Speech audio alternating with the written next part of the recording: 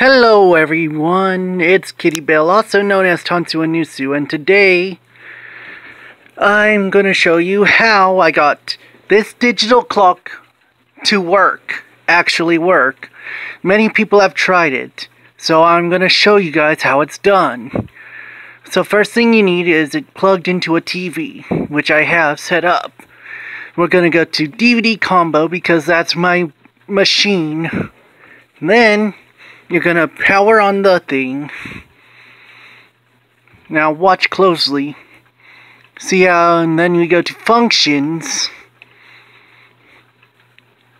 Other functions, setup. And we're going to go to clock settings right here. You can have it either set up automatically or set the clock manually. Click that, put in the day, the month, day, and year, your hour and minutes, AM or PM, and then daylight savings is DST, so turn that on if you don't have it, and then put it on time zone. Eventually, if you got it completely done correctly, you should have a working digital clock right there on that thing. If you're satisfied, then just be happy. To see if it actually worked, please turn off your console. Wait for it, wait for it. And right there, bam! I got the digital clock set on the reluctance machine that people struggled with. I don't know how many people figured it out, but I figured it out. You go to your functions menu on your remote, and you set the time, date, and everything else.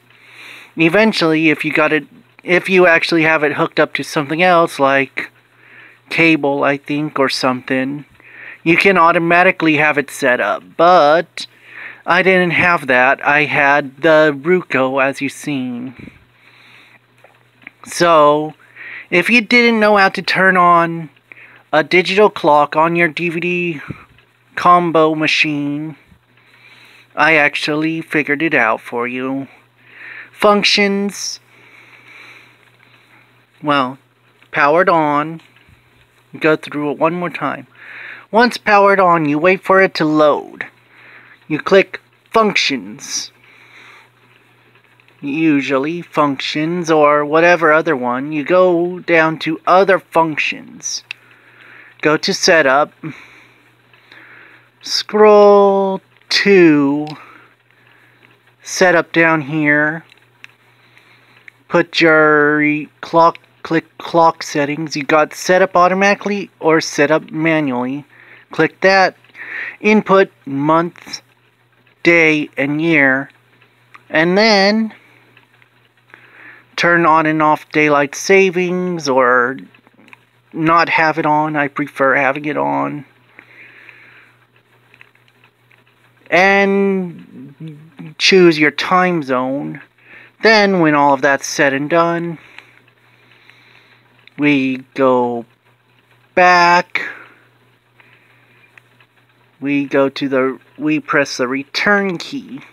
Return and return return power off the cons the VCR DVD player. Wait for it to do this and you have your clock available. This has been Tansu Anusu and Kitty this is Kitty Bell 23 also known as Tansu Anusu wishing you guys the best for November. Happy early Thanksgiving, and have a good time. I hope this video was helpful to you. Anyways, have a good day, and goodbye. Until next time.